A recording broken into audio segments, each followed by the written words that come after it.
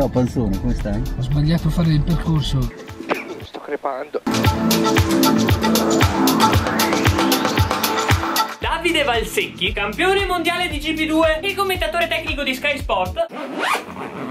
Settimana scorsa mi ha chiamato per chiedermi se volevo fargli da navigatore nel Rally di Monza 2019. Dato la intro dinamica per arrivare fino a qui a Milano, potete dedurre la mia risposta. Oggi è mercoledì 4 dicembre, domani inizia il rally. Ringraziamo Danielore che ci presta una cuccia per il weekend. Segniamo con i motori blogger e andiamo a letto che domani si inizia a fare sul serio.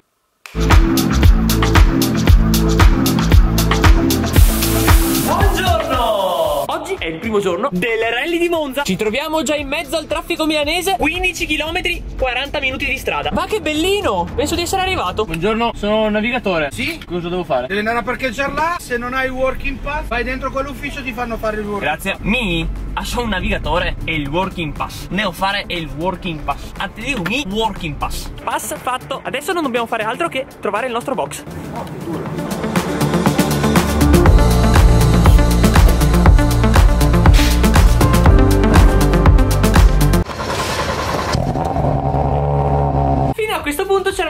tutte le carte in regola per essere un weekend diverso dal solito, al fianco di un campione mondiale come Davide Valsecchi. Ma quel giovedì ho capito che fare il navigatore non significava soltanto sedersi e divertirsi a fianco al pilota. Appena arrivato mi vengono spiegati i miei molteplici compiti. Iniziando dalle ricognizioni, che inizialmente pensavo fossero cose da mangiare, ma proseguendo ho capito che erano delle vere e proprie perlustrazioni della pista. Adesso noi entreremo con la macchina questa qua stradale. Tu devi scrivere su questo libretto qua le note. Le note sono quei. Quelle delle professoresse? Quelle. Con una macchina stradale, quindi, abbiamo esplorato molto lentamente l'EPS, che non è il post scriptum delle lettere, ma è l'acronimo di prova speciale. Quella che è la prima prova è di PS1. Ok. PS sta per prova speciale. PS, prova speciale. A dire la verità, la nostra organizzazione non era proprio al top. Infatti, saremmo dovuti già essere a Monza il giorno prima, ovvero mercoledì, per fare le prove libere. E invece mi ritrovo senza Davide di giovedì mattina a ricognizioni già iniziate insieme a Tommy, che è un grande amico di Valsecchi. E dato che a sua volta è un pilota, mi aiuterà a prendere le note mentre il Valse nazionale torna da un impegno in Inghilterra. Adesso siamo in macchina con Tommaso, che è un caro amico di Valsecchi. Ciao ragazzi. Stiamo andando a prendere Davide perché è appena arrivato da Londra. Siamo riusciti anche a recuperare Valsecchi. Un Valsecchi ammalato. Come potete vedere il mio pilota non è proprio in gran forma. Ha 39 di febbre e le peggio malattie nell'apparato respiratorio. Ma la cosa positiva è che potevamo procedere insieme nelle ricognizioni. E adesso andiamo a fare le ricognizioni che non ho neanche la più pallida idea di cosa siano. Beh, ho, imparato che PS significa prova speciale.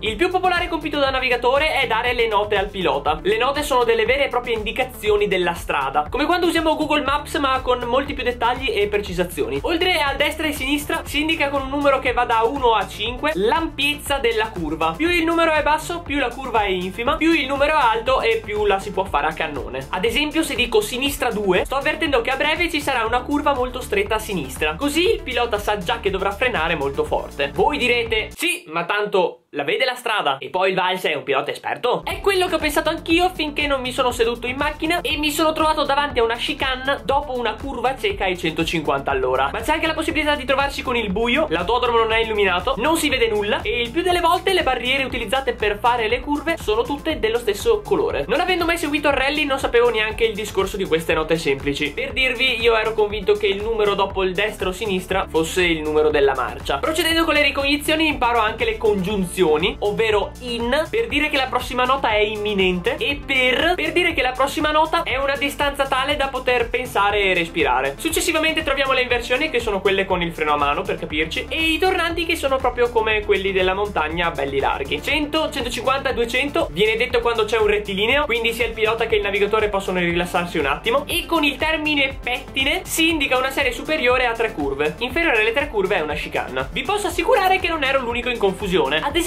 queste sono le prime note che ho segnato. Inversione sinistra. Inversione, minchione. Sinistra 90, destra 90. No, chicane sinistra destra.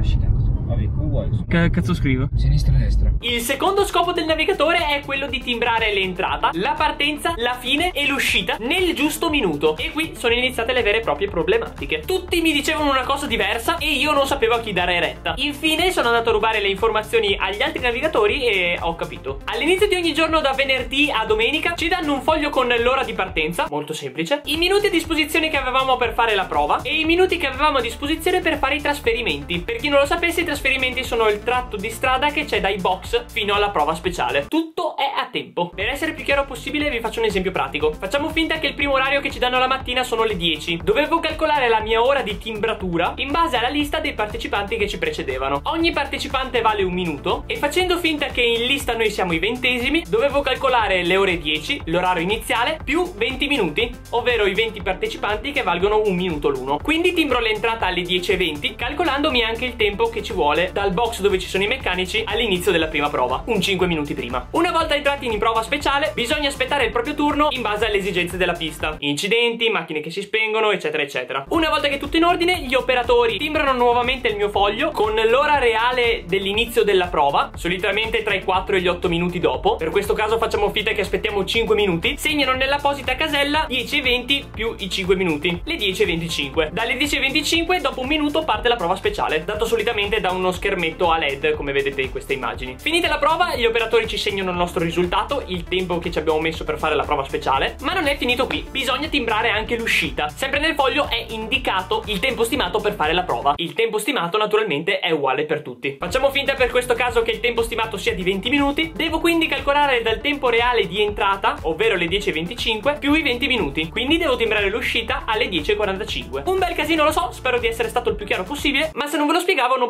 potevate capire l'ansia durante questo rally di Monza. E calcolate che adesso l'ho fatto con i numeri basici, solitamente non usciva un numero semplice neanche a pagarlo. Tipo 17.56 più 17 minuti. Ma cosa succede se non si timbra correttamente? Se timbri in ritardo paghi 10 secondi, se timbri in anticipo paghi un minuto. Porca puttana. Sì, no, ma sei sicuro con lui? Guarda che non è buono a guidare lui, eh. Eh...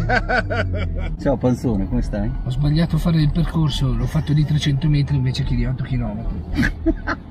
Il rally di Monza è suddiviso in 8 prove speciali, ovvero 8 prove a tempo, svolte tra venerdì, sabato e domenica. Tutte le PS, prove speciali, sono state ingegnate, inventate e costruite tra l'autodromo di Monza e la vecchia sopraelevata. Per chi non lo sapesse, questo è l'autodromo di Monza e questa è la vecchia sopraelevata. Finiamo le ricognizioni e procediamo con le regolazioni dei sedili, che non avevo la più pallida idea di, di come si facesse. Procediamo con la regolazione del sedile, ma devo montare qua dentro? Come fai a regolarmi il sedile? Ah, va zio, ma quanto stretto è? Come faccio a dirti se è giusto? Si può andare più indietro? Ma devi staccarlo completamente? Cioè quanto devi tribolare? Così sono troppo insaccato, no? Io non lo so, non sono mai salito su una macchina da rally. Finita la giornata e questa cosa del navigatore mi stava altamente gasando. L'ho presa proprio come una sfida. Tanto che volevo portare a tutti i costi a termine l'obiettivo. A tal punto che la sera stessa, al posto di uscire, mi sono segregato in casa a riscrivere le note in bella copia.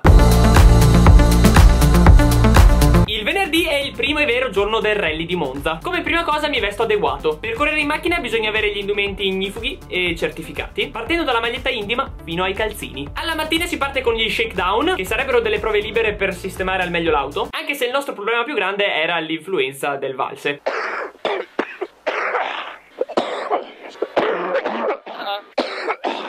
Cazzo, ho il catarro nelle orecchie adesso. Sto crepando. Fatte le prime due o tre prove, i primi giretti in macchina, le emozioni sono davvero fortissime. L'auto non ha niente a che fare con una vettura stradale, si riesce a percepire qualsiasi cosa l'auto sta facendo in quel momento e con un manico come Davide Valsecchi è tutto più amplificato. Nelle prove c'è addirittura un salto e posso assicurarvi che farlo full gas non è proprio una passeggiata. Ah, e il casco mi stava un po' piccolo. Forse un po' tanto piccolo, dato che il microfono mi arrivava al naso invece che alla bocca. Finite le prove libere, finiti gli shakedown, faccio il piccolo errore di mangiare. E poi inizia finalmente la prima PS. Quelli che vedrete sono naturalmente gli highlights. Non vi metto tutte quante le prove speciali, sennò diventerebbe un video di 3-4 ore e mezza e penso anche molto noioso. Che tribolazione. Prima prova speciale. Non hai un pelo di tensioncina, no? Che ore sono? 27, 28. 30 noi, giusto? Sì, sulle 28. Come mi sa che si timbra? Basta che non gli dai il foglio. Sei sicuro che è 30, eh? Io no che non sono sicuro, io pensavo fosse 34, lei ha scritto 30. Strano perché dovrebbe esserci uno a 29. Eh, eh, esatto, questo qua è il 6, boh, ok, 30. Era questo che era in ritardo. 30, giusto? Sì. Grande Davide. Uh! Sono un po' emozionato. Te non te ne frega un cazzo, vero? Emozionato, no? Non hai un po' di tensione. Grazie. Non parla. Grande, grande. Sì, sì. È mona. Inversione sinistra, in inversione destra. Attenzione al muro. 100. Jump.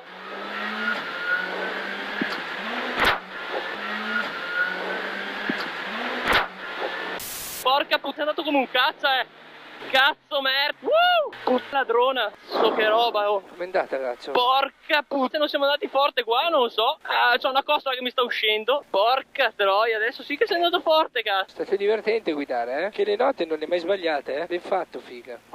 Prima prova conclusa, finiamo 34esimi e iniziamo con la PS2. Io mi chiedo una cosa. Partenza della Madonna. Salto in pieno manetta, l'altra parte in pieno. Ma come che siamo 34esimi? Cazzo applaudi. Tu leggevi una nota DJ destra, sinistra, poi era il contrario. Anche qua, oh. Oh, Sarebbe anche sconquasso. che cos'è? Ti col culo e mi col cazzo.